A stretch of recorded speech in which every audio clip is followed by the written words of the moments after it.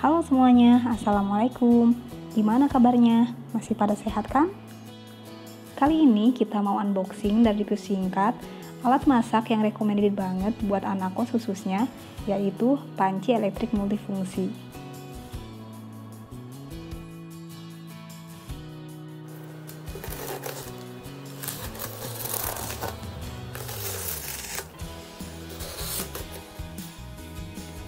Nah, ini dia panci elektrik yang kita beli ini dari merek Advance, Advance, atau gimana ya dibacanya teman-teman?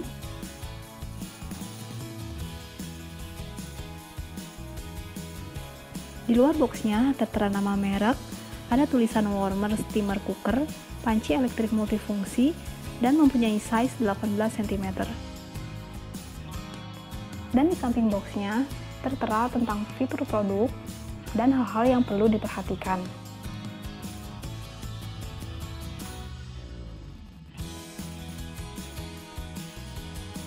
Yuk sekarang kita mulai buka dan kita lihat apa aja yang terdapat di dalamnya.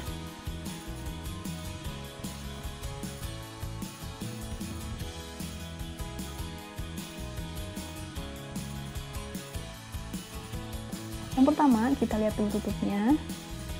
Tutupnya ini terbuat dari bahan kaca dan terdapat lubang kecil di atasnya untuk mengeluarkan uap ketika kita lagi masak. Lalu ada kabel atau colokan buat penghubungnya. Untuk panjang kabelnya, di sini nggak terlalu panjang-panjang amat, malah bisa dibilang agak pendek ya. Dan itu merupakan salah satu kekurangan dari panci elektrik ini. Kemudian ada kartu petunjuk penggunaannya.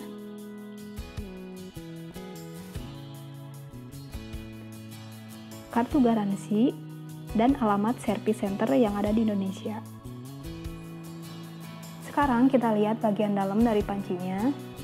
Bagian dalam panci ini atau potnya terbuat dari teflon, jadi nggak akan lengket pas waktu kita masak atau menggoreng. Di bagian samping ada tombol pengatur suhu panas, dan panci ini juga sangat ringan. Di samping satunya lagi, terdapat colokan buat kabel.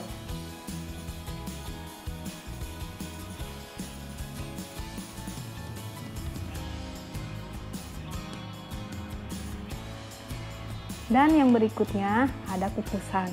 Kukusannya ini kokoh banget karena ini mungkin terbuat dari kaleng ya, tapi kalengnya juga bukan kaleng yang tipis, ini agak tebal.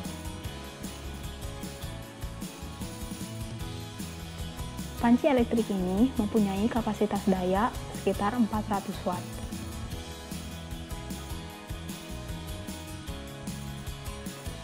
Dan untuk harganya sendiri, kita beli seharga 100 ribuan di Shopee.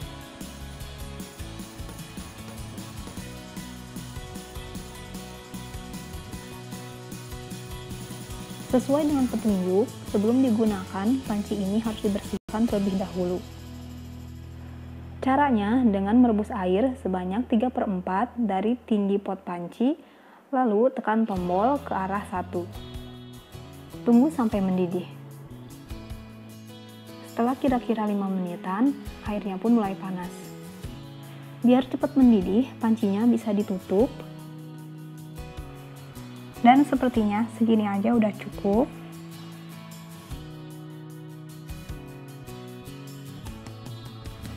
Kemudian buang air rebusannya.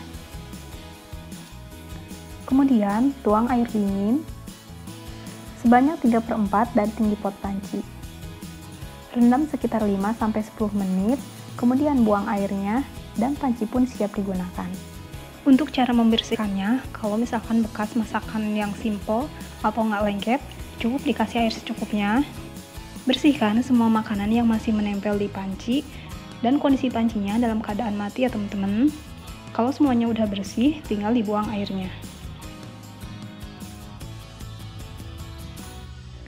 Setelah itu, keringkan dengan lap bersih ataupun tisu.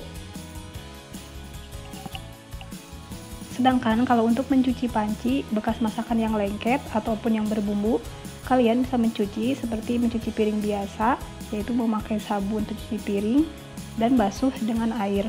Tapi syaratnya jangan sampai mengenai lubang colokan listrik yang ada di samping. udah deh, udah bisa digunakan kembali. Dan sekian dulu unboxing dan review singkat panci elektrik multifungsi. Kalau ada yang belum jelas atau ada yang pengen ditanyain, kalian tulis aja di kolom komentar ya. Semoga membantu ya teman-teman, dan semoga video ini bermanfaat. Makasih. Wassalamualaikum.